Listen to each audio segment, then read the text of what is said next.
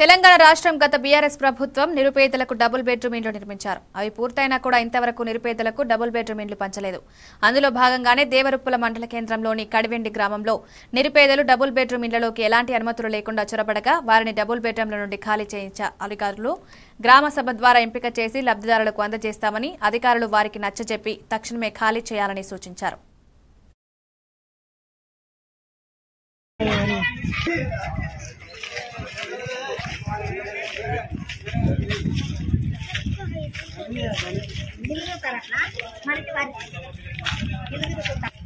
తెచ్చిర్రు సార్లు నమస్తే అమ్మా వస్తుంది ఇగో ఇగో అప్పుడు మీరు ఫోటో దించుతురుగా సార్ మాకు వేస్తుంటే ఎత్తుకపోతా